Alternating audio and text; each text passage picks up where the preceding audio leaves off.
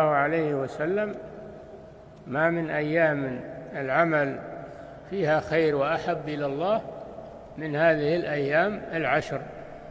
وورد عنه صلى الله عليه وسلم أنه صام عشر ذي الحجة. المراد تسعة أيام لأن يوم لأن يوم العيد وهو العاشر لا يصام حرام صيامه المراد صيام تسعة أيام من ذي الحجة.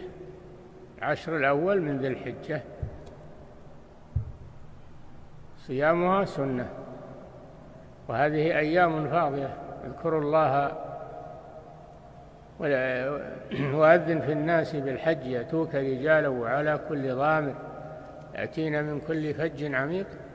ليذكروا اسم الله في أيام معلومات. وهي عشر ذي الحجة.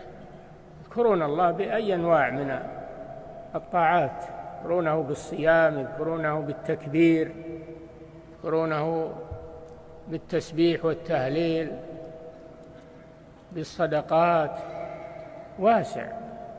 يتطوع في عشر ذي الحجة بما تيسر له وهي الأيام المعلومات.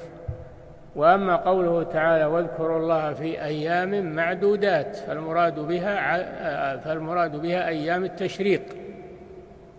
المراد بالمعدودات أيام التشريق والمعلومات عشر ذي الحجة. نعم.